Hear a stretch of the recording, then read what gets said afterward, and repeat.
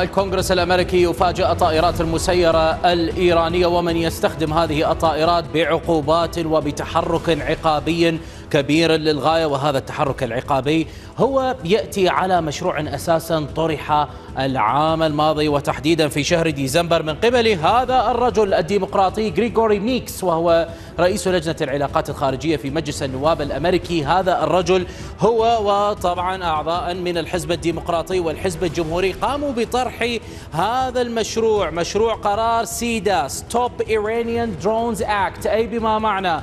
وقف الطائرات المسيرة الإيرانية أو وقف برنامج الطائرات المسيرة الإيرانية. والهدف الأساسي من هذا القرار هو عملية توضيح نقطة مهمة جدا في قرار أساسا تم التصديق والمصادقة عليه في عام 2017 في مجلس الشيوخ الأمريكي ألا وهو قرار كاتسا الذي ترونه هنا. هذا القرار أساسا صادق عليه مجلس الشيوخ الأمريكي من أجل مواجهة خصوم الولايات المتحدة الأمريكية الذين يمتلكون مثلا أسلحة للدمار الشامل أو صواريخ باليستية ومثلا على سبيل المثال نقل المعدات لهذه الصواريخ أو غيرها أو لأسلحة الدمار الشامل كذلك في عمليات التمويل الخاصة بها وأيضا أي معدات تسليحية أو غيرها نقل من وإلى هذا القرار هو الذي طبعا يتصدى لها. ولكن كما نعلم في عام 2017 الأمور لم تكن واضحة أبدا عندما نتحدث عن الطائرات المسيرة. الآن الطائرات المسيرة أصبحت خطرة للغاية وبالتالي هنا يأتي دور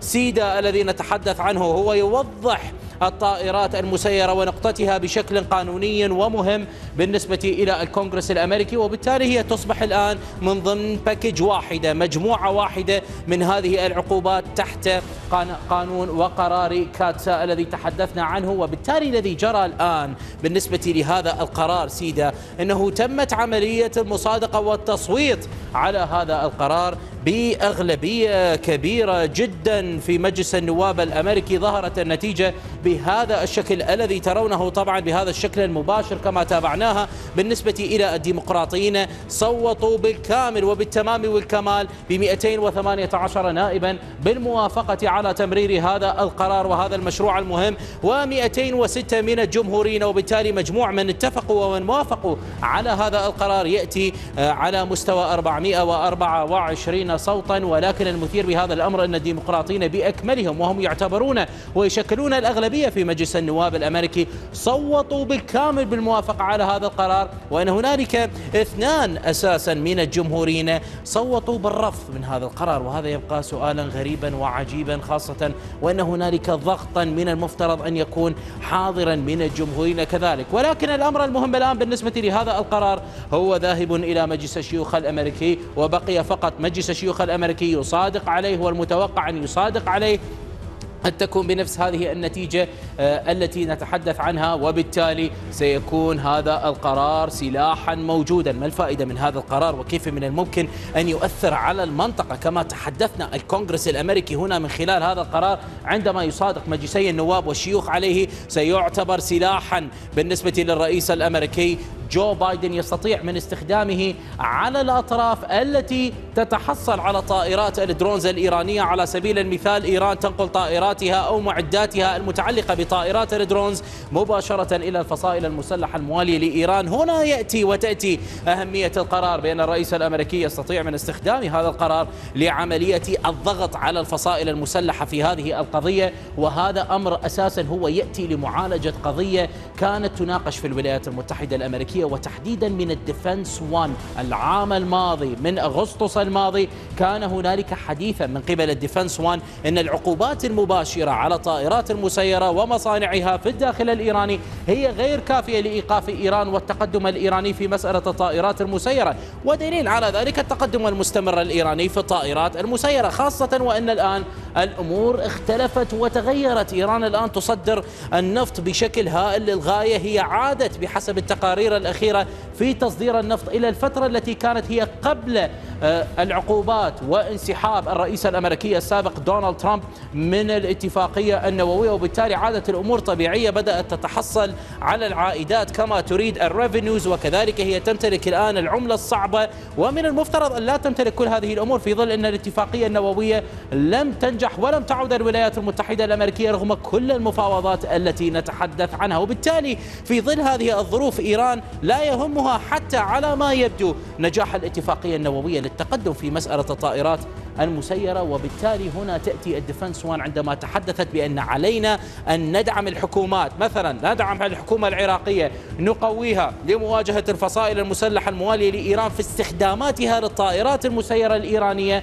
وأيضا ها هو هذا القرار يأتي ليجتمع مع قضية دعم الحكومات في المنطقة لكي يحاول الضغط على هذه الفصائل. بالتالي الحكومات هي تحت الضغط وأن عليها التصرف ويجب أن تفعل شيئا من أجل إنهاء هذه المسألة. المثير بهذا الأمر أن هذا القرار والتصويت عليه هو يأتي متزامنا مع إعلان إيران لطائرة مسيرة جديدة وهي طائرة صادق التي ترونها بهذا الشكل. هذه الطائرة المسيرة قد تبدو من تصميمها وكأنها طائرة عادية تشبه الكثير من الطائرات مثل نوعية مهاجر على سبيل المثال. ولكن هذه الطائرة تتمتع وميزتها هي الصواريخ التي تحملها التي ترونها هنا. هذه الصواريخ التي ترونها بهذا الشكل هي الميزة الكبيرة بالنسبة إليها وتطلق ويطلق عليها MANPAD missile. وهذه ال MANPAD missile أو صاروخ ال MANPAD هو يستخدم وهو يبدو بهذا الشكل الذي ترونه وهو عادة يستخدم من الجنود الذين يتواجدون على الأرض.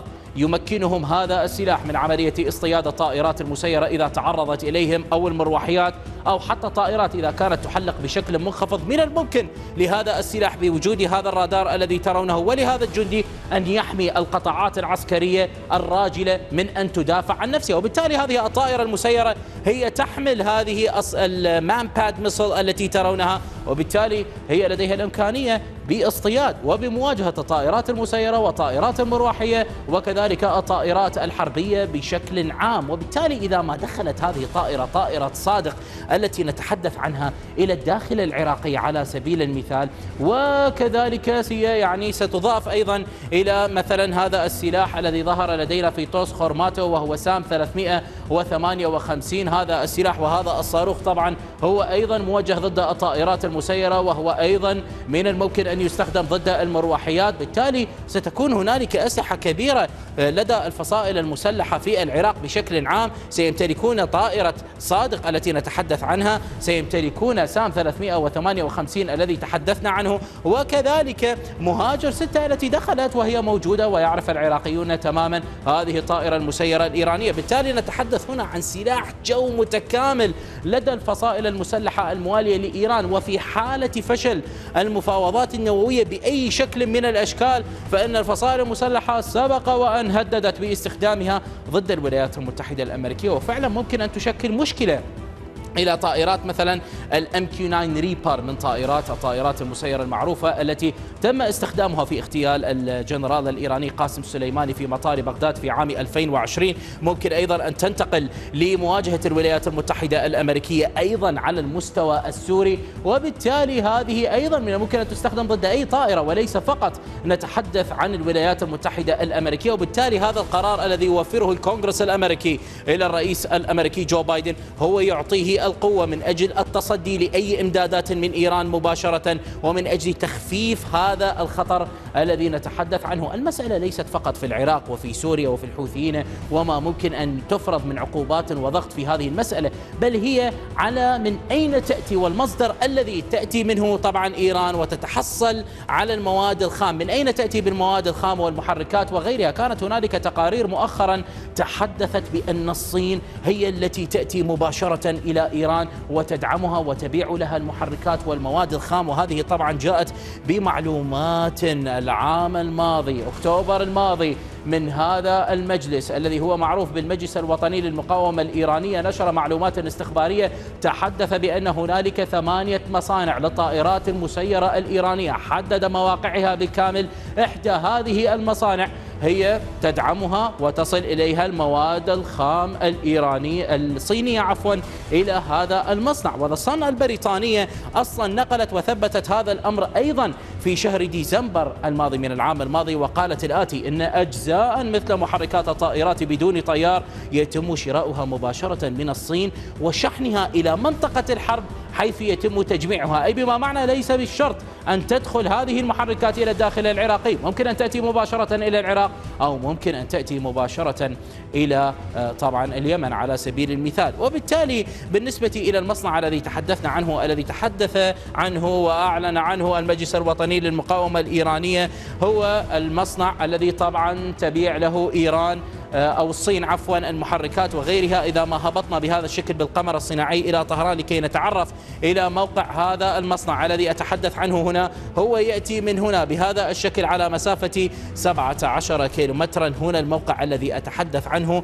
وهذا الموقع وهذا المصنع هو تابع إلى مجموعة آه، غضنفر ركن آباد. هذا هو الاسم لهذه الشركة المصنعة للطائرات المسيرة. وكما تلاحظون هذا المصنع تبدأ النقطة الخاصة به بهذا الاتجاه إلى المدخل إلى هذا المصنع وبعدها بهذا الشكل لاحظ كم هو حجم هذا المصنع. مصنع ليس بالصغير أبدا كل هذه المخازن هي مرتبطة بالطائرات المسيرة وغيرها. مخازن مهمة جدا إلى تخزين الطائرات المسيرة والمحركات وغيرها ولكن النقطة الأهم في صناعة الطائرات المسيرة هي تأتي بهذا الاتجاه. دعونا نقترب من هذه المنطقة لكي نتعرف عليها قليلا ونعرف هذه النقاط الموجودة هنا بالاقتراب بالقمر الصناعي آه، لكي نفهم تماما ما الذي يجري هنا. سنلاحظ بأننا أمام ثلاثة بنايات مهمة. المبنى الأول هذا هو مكتب الأمن الخاص. طبعا كمدخل من هذا الاتجاه عندما تدخل من هذه النقطة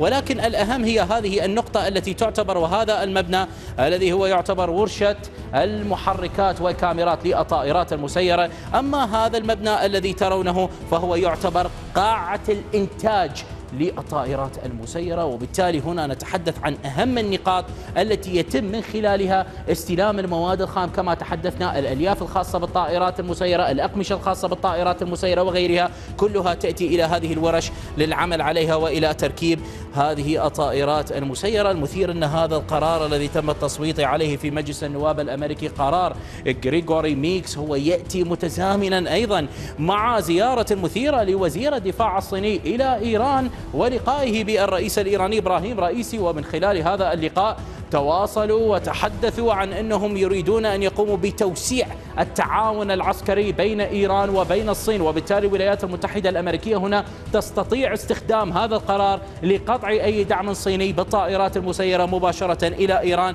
وتفرض العقوبات شيئا فشيئا. العقوبات ضد روسيا العقوبات ضد إيران وها هي ممكن أن تطال. الصين أيضا في هذه المسألة وممكن أن تسبب حرجا كبيرا للعراق أيضا.